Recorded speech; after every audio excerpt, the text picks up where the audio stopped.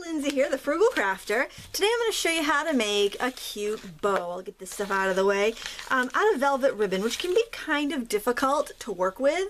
Uh, last year we um, decorated our porch and um, I we didn't have enough bows and so I thought well we got a roll of ribbon I'm gonna make some of my own and they were the most hideous things that you ever wouldn't want to see oh my gosh they were horrible I couldn't figure out what I was doing wrong but then the other day um, I had taken my son to a um, Boy Scout meeting and they were decorating wreaths for the wreath sale and asked for help and I volunteered and they showed me how to make a proper bow.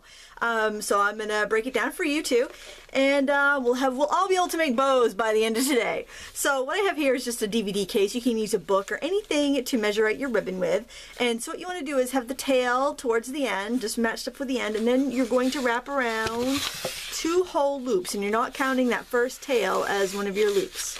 So there we got two whole loops and we're gonna cut it. So we have a little bit of excess like maybe um, maybe a foot of extra material there.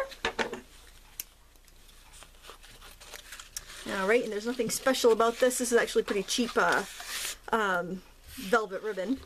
And then you're gonna slide this off and lay it down on your table so that you've got the tail um, on well it's on my uh, my right. And then you're gonna um, kind of roll it a little bit so you have a longer tail and so the tail on the inside is about halfway in the middle and you're gonna pull that down so it's just hanging down. Then you're gonna flip this whole deal over and you are gonna fold it in half like so. All right, then you're gonna accordion fold a little bit. You're gonna fold this edge towards you there and you're gonna fold this other edge away from you here. I did flip it there, just uh, you know, stop it and rewind it if you need to. All right, and so then you're gonna hold it so you have the um, no raw edges facing you. Let me just zoom in this. Okay, so we have no raw edges facing us. Now you need a bit of wire, which um, you should really cut before you begin, but I always forget that part. you need about a foot, um, and that just gives you a little extra um, wire in case you know you want to tie it to something and then you're going to um, wrap it around the center of your bow here and you're going to twist the bow and one of the reasons I'm making this video, I mean, obviously, I want to help everybody make good bows, but I know I'm going to forget how to do this. So if I do this now on camera, then I'll be able to tell. And, you know, next month when I need to make 50 of these. All right, then you're going to take this, this piece here, and you're going to fold it over your wire. You're going to stick two fingers in here and you're going to fold it back down again. Then take whatever tail of your wire that is longer and wrap it around the front and that's going to make a little button on the center of your bow. See that? Nice and neat and tidy. So pull that wire back around to the back and do some more twisting so you secure that. So we're not tying a bow. That's why it's so difficult. I was always trying to tie a bow. You really don't tie these. All right, and now we've got this tail here in the center that we're gonna pull down nice and neat. We're gonna take this uh, front tie, which is really just the other side of our button, we're gonna pull that down. We're gonna lift up that little button in the front that we made. I probably shouldn't have used red. Boy, red is kind of hard to photograph. I hope it's not, hope it's clear. You can see that really well.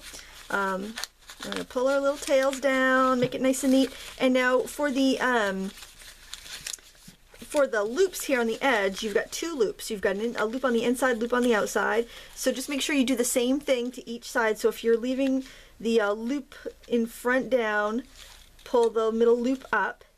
And you want to do that same thing on the other side. And you're just kind of fluffing it and making it pretty. And those folds that we made before we wired it that first time kind of help it keep its shape. So that's a kind of an important step there that we did that and just kind of fluff it, mess with it a bit.